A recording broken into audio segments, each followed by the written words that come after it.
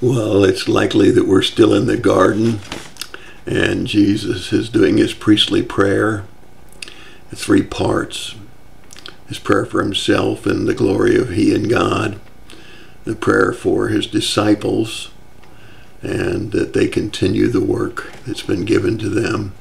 And now the prayer for us. It's John chapter 17, verses 20 through 26. I'd recommend anytime you feel down or depressed that you read John 17, verses 20 through 26, where Jesus prayed for us. He says, I pray not only for the disciples, but for those who believe through their word. Now, that's been passed down for a lot of generations, hasn't it? That each person that believes in Jesus because of the words of the previous Christians, uh, he says, so I'm not just praying for the disciples, I'm praying for everyone who believes through the Word of God. And he says, I'm praying three things. I'm praying for the unity of the Spirit. Uh, that is just like you and I. And Jesus speaking about himself and God the Father. And that they would believe that you sent me. For God so loved the world that he gave his only begotten Son so we see that his his desire is that they be one in a spiritual unity, particularly in the fact that they believe that God sent Jesus. Secondly, he says that they get the same glory so that they'll be one. now, uh, that's not the glory like a baseball player or a football player that gets glory. That's that's glory of the Spirit. And and it comes from me being in them and them being in me. Uh, that's uh, Jesus living in us and us living like Him in our life. Perfect unity. Uh, doing what He says and doing it not out of force, but because we want to be like Him. Thirdly, He says that they would know that you sent me and that you love them even as you loved me. Now think about that. A father's love for a son. Uh, he says, uh, I want you want them to be one in the spirit, just as you and I are. I want them to see the glory that can be in their lives in them when I'm in them and they in me. And he says, I want them to know uh, and, and, to tell others that you love me uh, and you love them just as you love me. All right. Now, verse 24.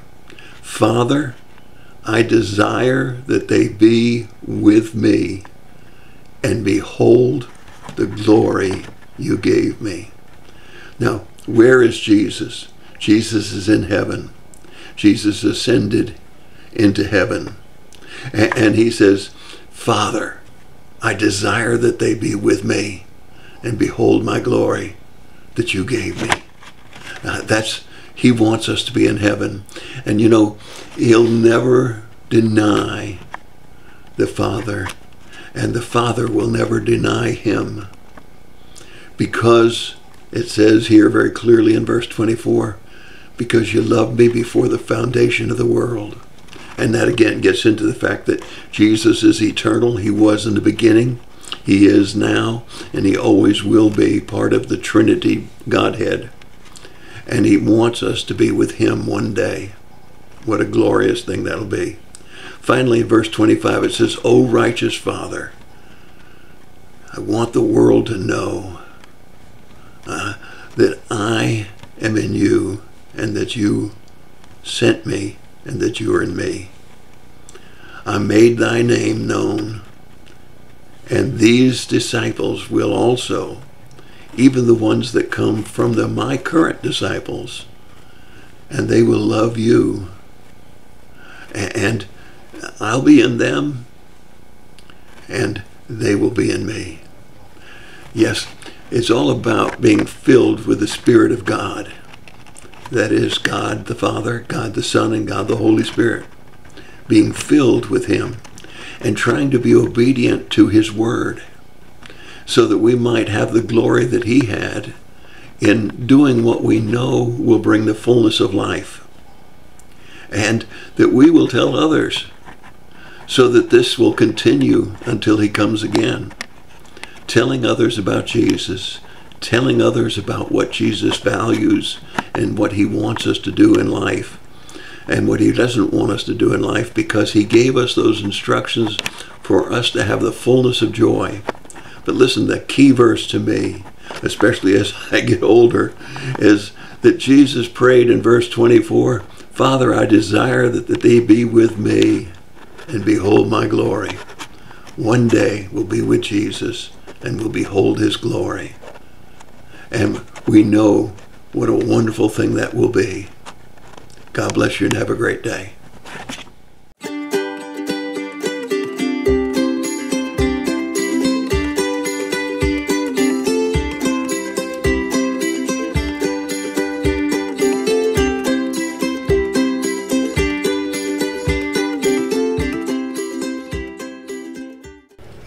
Know that you can know that you're going to heaven.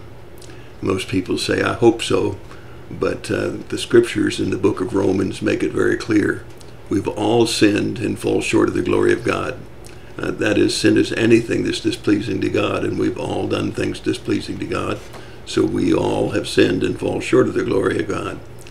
And God demonstrated his own love toward us, in that while we were yet sinners, Christ died for us. That's Romans 5 8. So we are sinners, but Christ died for us. And then in Romans 5 6 it says, while we were still helpless, that is, we couldn't do good enough works to earn our way into heaven, at the right time Christ died for the ungodly. Romans 5 6. We were helpless, but at the right time Christ died for us. Romans 6:23 For the wages of sin is death. We all earned our wages, which is death. But the free gift of God is eternal life in Jesus Christ our Lord. Now, that means there's nothing we can do to earn it or deserve it. It's a free gift of God. It's by grace and grace alone. But that's not freedom to just continue in sin either. And the way that we receive it is in Romans 10, verse 9. If we confess with our mouth Jesus is Lord and believe in our heart that God raised him from the dead, you will be saved. Well, I hope that you know for certain that you're going to heaven. I hope that you've turned away from sin and self, turned to Jesus alone, who gives by grace eternal life. Yeah, yes, it, there is some surrender involved, and yes, there is a, a turning away from sin, but that's not how we earn heaven. We don't earn it. We, we get it from Him as a gift, and that's what the Scripture says clearly. It's by grace and grace alone. God bless you and have a great day.